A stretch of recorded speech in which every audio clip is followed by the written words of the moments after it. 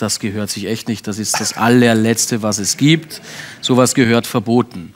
Wie stehst du zu Frauen, respektive zu Schwulen? Ich bin hetero, ganz einfach. Ja. So, ich finde es halt einfach cooler, wenn, man, wenn ein Mann mit einer Frau schläft, als andersrum. Also wenn die Frau mit dem Mann schläft. Ja. Äh, du gibst an, mit über 500 Frauen geschlafen zu haben. Was toll ist, damit bist du immerhin auf Platz 3 hier am Tisch.